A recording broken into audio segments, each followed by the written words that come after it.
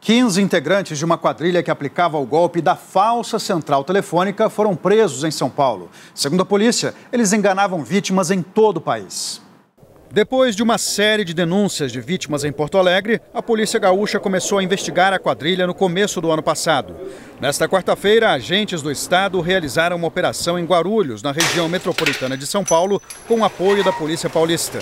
15 suspeitos foram presos. Celulares, dinheiro e cartões de contas bancárias usadas nos golpes foram apreendidos. Através de uma central telefônica, os criminosos enganavam pessoas em todo o país. Eles mandam inicialmente uma mensagem via telefone, mensagem celular, dizendo que a pessoa teve um gasto no cartão ou fez uma transferência de determinado valor e pede para que, se não foi feito, ligue para a central né, do banco.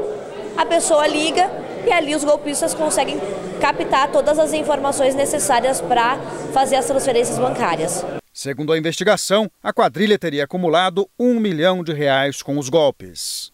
A sua fonte segura de informação cada vez mais perto de você. Baixe agora o aplicativo do SBT News. Selecione o que é mais importante e receba notícias personalizadas tudo o que acontece no Brasil e no mundo 24 horas por dia. A informação em tempo real na palma da sua mão.